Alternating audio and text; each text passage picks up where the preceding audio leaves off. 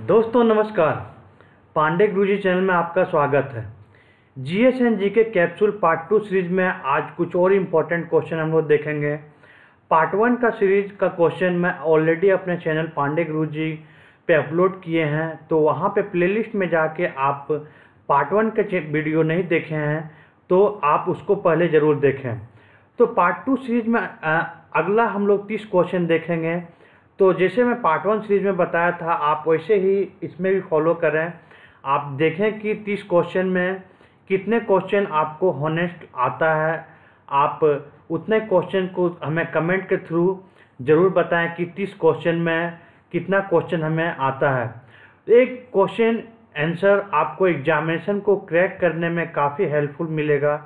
तो इस वीडियो को शुरू से अंत तक ज़रूर देखें और अपने दोस्तों को शेयर ज़रूर करें ताको, ताकि उनको भी लाभ हो।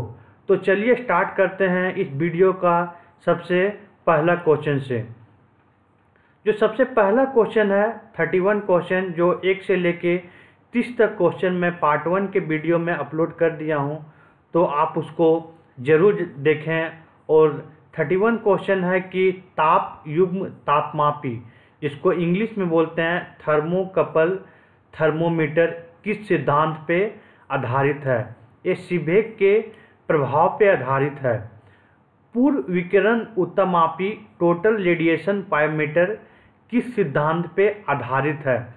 स्टीफन के नियम पे आधारित है। दूर की वस्तुओं जैसे सूर्य आदि का ताप किस तापमापी से मापा जाता है? पूर्ण विकिरण उत्तरमापी द्वारा मापा जाता है। तो दोस्तों, आपको जीएस और जीके में इसी टाइप के क्वेश्चन आपको पूछा जाता है पूछा जाएगा। तो आप एक क्वेश्चन को अच्छी तरह से रट लें, आप कहीं पे नोट डाउन करें, क्योंकि एग्जामिनेशन को क्रैक करने में इस इस टाइप का क्वेश्चन काफ़ी हेल्पफुल होगा। तो चलिए स्टार्ट करते हैं थर्टी फोर्थ नंबर क्वेश्चन से। थर्टी फोर्थ नंबर क्वेश्चन है, चौंतीस नंबर क्वेश्चन है कि किसका तापमान होने पर पार्टियन, सेल्सियम और फॉरनहाइट तापमापियों में एक ही होते हैं। ये है फोर्टी डिग्री। सेल्सियम पैमाने का zero degree Celsius Fahrenheit scale के कितने डिग्री के बराबर होता है? बत्तीस डिग्री के बराबर होता है। मानव शरीर का तापमान अंठानवे पॉइंट सिक्स डिग्री होता है। सेल्सियस स्केल यह कितना होता है? सैंतीस डिग्री सेल्सियस स्केल होता है। अति लघु समय अंतरालों को सही सही मापने के लिए किसका प्रयोग किया जाता है? परमाणु घड़ियाँ का उपयोग किया जाता है। एक मनुष्य का तापक्रम 60 डिग्री सेल्सियस है तो उसका तापक्रम फॉरेनहाइट में कितना होगा? ये 140 डिग्री होगा। पानी का घनत्व किस ताप पर अधिकतम होता है? चार डिग्री सेल्सियस पे अधिकतम होता है। साइकिल के ट्यूब अधिकांश गर्मियों में क्यों फट जाते हैं? गर्मी के कारण ट्यूब फट जाता है। किस झील की सतह का पानी बस जमने वाला ही है? झील के अंततः स्थल में जल का क्या तापमान होगा? वो होगा चार डिग्री सेल्सियस। उष्मा के संरक्षण की किस विधि के में पदार्थ के अणु एक स्थान से दूसरे स्थान तक स्वंग नहीं जाते हैं? वो चालन होता है।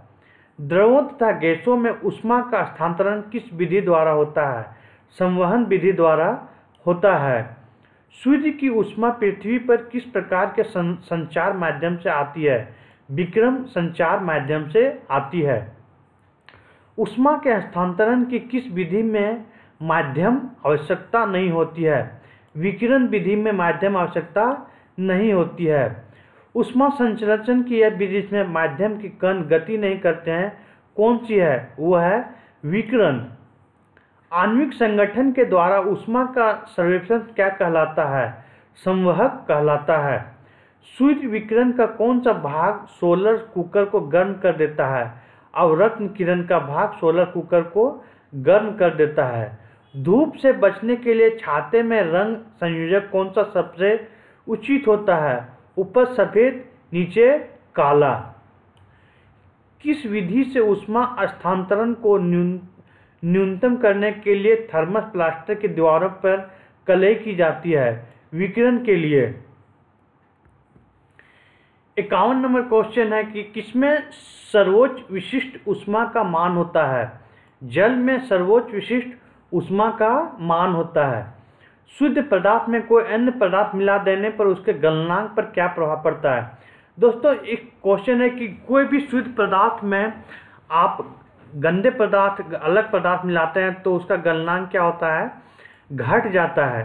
ये बहुत ही इम्पोर्टेंट क्वेश्चन है और एग्जामिनेशन में एक क्वेश्चन आ चुका है।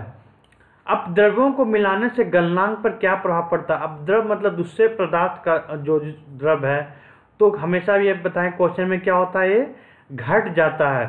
चावल को पकाने में कहाँ अधिक समय लगेगा? माउंट एवरेस्ट पे जैसे जैसे ऊंचाई बढ़ता जाता है तो वहाँ पे ऊंचाई ज़्यादा होने के कारण चावल को पकाने में अधिक समय लगता है। किसी द्रव का उसके क्वथनांक से पूर्व उसके वाष्प में बदलने की प्रक्रिया को क्या कहते हैं? वाष्पीकरण कहते हैं। आंतरिक ऊर्जा की संकल्पनिक उत्तराक्रमी के किस नियम से मिलती है? प्रथम नियम से मिलती है। उष्मा गति का प्रथम नियम किस अवधारणा की पुष्टि करता है? वो है ऊर्जा संरक्षण की पुष्टि करता है। किस बिंदु पर फॉर्नाहाइट तापक्रम सेंटीग्रेड तापक्रम का दोगुना होता है? 160 डिग्री पे। किसी वस्तु की विशिष्टता विशिष्ट उष्मा किस पर निर्भर करती है? पिंड के द्रव्य पे। सेल्सियम सेल्सियम में माप का कौन सा तापक्रम 300 कैलोरी के बराबर होता है? वो 27 डिग्री सेल्सियस के बराबर होता है। तो दोस्तों पार्ट टू वीडियो में हम आपको 60 क्वेश्चन बताएँ तो आप हमें कमेंट के थ्रू ज़रूर बताएँ। हमें विश्वास है कि आप वीडियो देख के उसमें जितने भी क्वेश्चन सही हैं, आप हमें कमेंट के थ्रू ज़रूर बताएँगे और मैं उसको नोट डाउन करके रखूँगा और मैं बाद में डिक्लेयर करूँगा कि कौन सा स्टूडेंट का सबसे ज़्यादा सॉल्व कर रहा है। तो हमें ज़रूर अपना बताएँ और कमेंट के थ्रू ज़रूर बताएँ। तो वीडियो देखने के लिए धन्यवाद और हमारे चैनल को अभी तक सब्सक्राइब नहीं किए हैं तो सब्सक्राइब करना न भूलें। जय भारत, जय हिंद।